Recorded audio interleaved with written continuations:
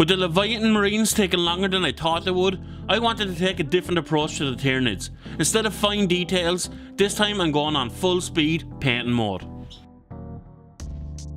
First thing I wanted to do was base my models with Corax White, but after spraying some of the army the can ran out, but I did just have enough Wraithbone left over to spray the rest. The Termagants, Neurogaunts and the Neurotyrant got the Corax White treatment and the rest of the army got based with Wraithbone. Not what I was wanting, but is there really going to be much of a difference? I guess I'm going to find out.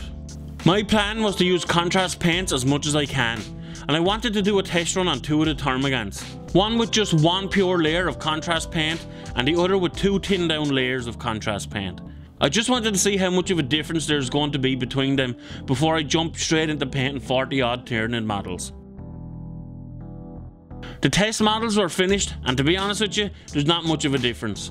The only benefit I can see for doing two layers is that it lets you go back to cover any missed parts, especially with the little holes, but that can be fixed by spending an extra couple of seconds quickly looking over when doing one layer. So for me, it's one solid coat all the way. After a lot of contrast painting later, I had the skin painted on all the models with a Iyanden yellow. As for the models bait with Wraithbone, I can't really tell the difference to be honest. The contrast seemed to go on a bit better on the Wraithbone, but overall they turned out pretty much the same. While this way is very quick, there is some sloppiness that goes with it. With the whole model being base white, it's easy to spill some over onto the armour that's going to be a separate colour. So I wanted to see that when I use the armour colour of Gryph-hound Orange, is it enough to cover over any yellow mistakes or am I going to have to go back and clean up another 30 plus models? Luckily enough, the Gryph-hound Orange was more than capable of covering over any Iyanden Yellow mistakes. And look at this guy, who managed to get himself painted the wrong way around. There's always one of them in the group. The Neurotyrant, his little followers and the Barbgaunt brain parts were then painted with Guilliman flesh, and I also painted part of their gun with the same colour. I didn't spot it at first, but the Neurogaunt's leader also had a big brain sticking out of his back, so I made sure that I didn't miss it. Corvus Black was then used on their claws, some spiky parts and on their hoofs.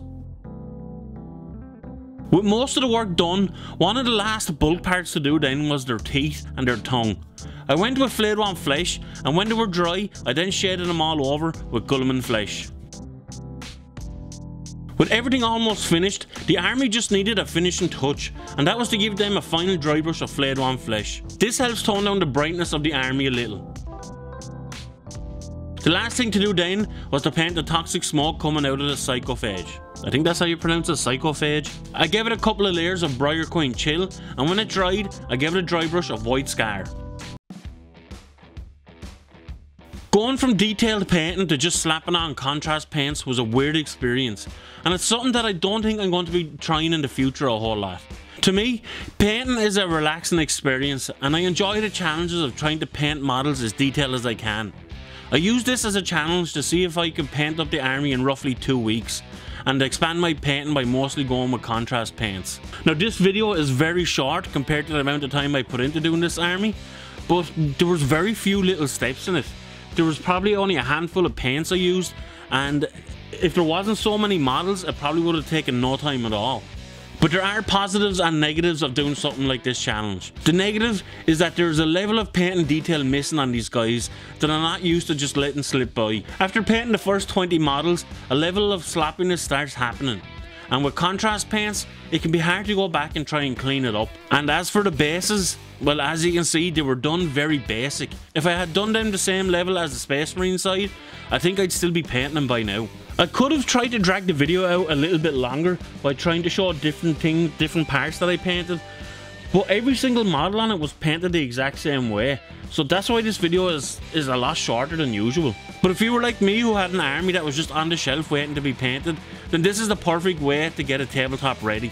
I never painted any Tyranids before, and I never intended on having an army, but I couldn't just not paint these guys after painting the Space Marines half. But the overall positive experience was that it was a learning experience with using contrast paints as the main way of painting. And I did enjoy doing it. It was a quick way to get an army finished for the tabletop. But if you guys like this video and I helped you out a little bit, make sure to let me know in the comment section below. Hit the like button, subscribe if you haven't, and once again, thanks for watching.